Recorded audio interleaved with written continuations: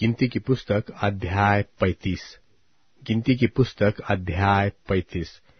लेवियों के नगरों की ओर, शरण नगरों की विधि। फिर यहोवा ने मोवाब के अराबा में यरीहो के पास की यरदन नदी के तट पर मूसा से कहा इसराइलियों को आज्ञा दे कि तुम अपने अपने निज भाग की भूमि में से लेवियों को रहने के लिए नगर देना और नगरों के चारों ओर की चराइया भी उनको देना। नगर तो उनके रहने के लिए और चराइया उनके गाय बैल, भेड़ बकरी आदि उनके सब पशुओं के लिए होंगी।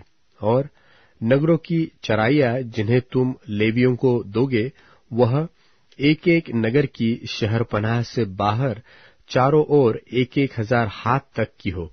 और नगर के बाहर पूर्व, दक्षिण, पश्चिम और उत्तर अलंग दो दो हज़ार हाथ इस रीति से नापना कि नगर बीचों बीच हो। लेवियों के एक एक नगर की चराई इतनी ही भूमि की हो। और जो नगर तुम लेवियों को दो, उनमें से छह शरण नगर हो, जिन्हें तुमको खूनी के भागने के लिए ठहराना होगा। और उनसे अधिक बयालीस नगर और भी देना। जितने नगर तुम लेवियों को दोगे, वे सब अड़तालीस हो, और उनके साथ चराइया देना। और जो नगर तुम इसराइलियों की निज भूमि में से दो, वे जितने बहुत नगर हो, उनसे बहुत और जितने थोड़े नगर हो, उनसे थोड़े लेकर देना। सब अपने अपने नगरों में से लेवियों को अपने ही, अपने भाग के अनुसार दे। फिर यहोवा ने मूसा से कहा इसराइलियों से कहा कि जब तुम यर्दन पार होकर कनान देश में पहुंचो, तब ऐसे नगर ठहराना जो तुम्हारे लिए शरण नगर हो, कि जो कोई किसी भूल से मार के खूनी ठहरा हो तो वह वहाँ भाग जाए।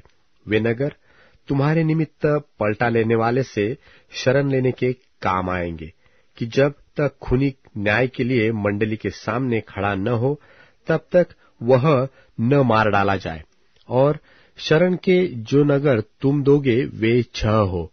तीन नगर तो यर्दन के इस पार और तीन कनान देश में देना। शरण नगर इतने ही रहे। ये छहो नगर इसराइलियों के और उनके बीच रहने वाले परदेशियों के लिए भी शरण स्थान ठहरे, कि जो कोई किसी को भूल से मार डाले, वह वही भाग जाए। परंतु यदि कोई किसी को लोहे के किसी हथियार से ऐसा मारे कि वह मर जाए तो वह खूनी ठहरेगा और वह खूनी अवश्य मार डाला जाए। और यदि कोई ऐसा पत्थर हाथ से लेकर जिससे कोई मर सकता है, किसी को मारे और वह मर जाए तो वह भी खूनी ठहरेगा और वह खूनी अवश्य मार डाला जाए।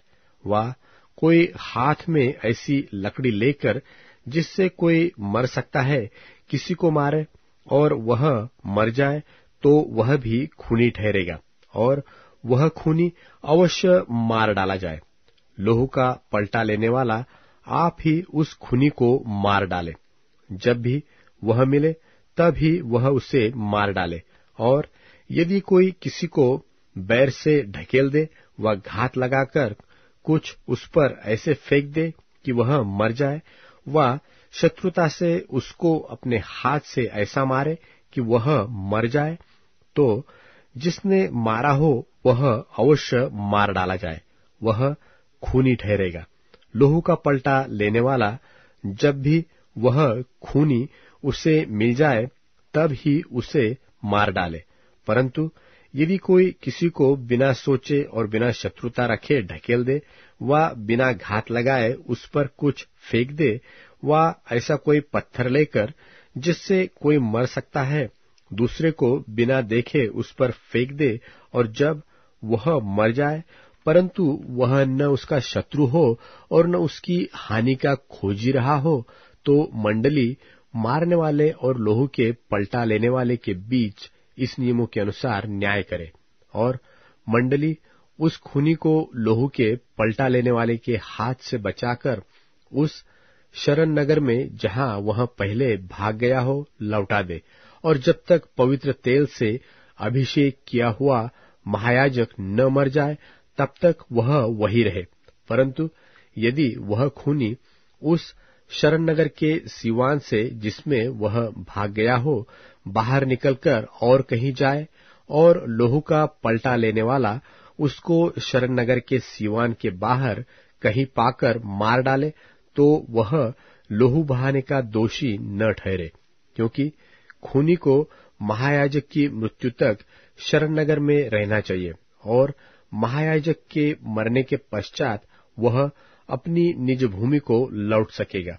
तुम्हारी पीढ़ी पीढ़ी में तुम्हारे सब रहने के स्थानों में न्याय की यह विधि होगी, और जो कोई किसी मनुष्य को मार डाले, वह साक्षियों के कहने पर मार डाला जाए, परंतु एक ही साक्षी की साक्षी से कोई न मार डाला जाए, और जो खूनी प्राणदंड के योग्य ठहरे, उससे प्राणदंड के बदले में जुर्माना न लेना, वह अवश्य मार डाला जाए।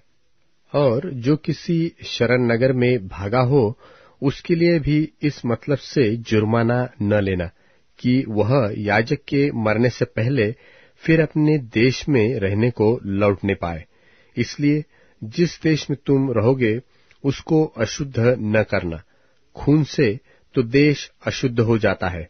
और जिस देश में जब खून किया जाए, तब केवल खूनी के लोहू बहाने ही से उस देश का प्रायश्चित हो सकता है। जिस देश में तुम निवास करोगे, उसके बीच में मैं रहूँगा। उसको अशुद्ध न करना। मैं यहोवा तो इसराइलियों के बीच रहता हूँ।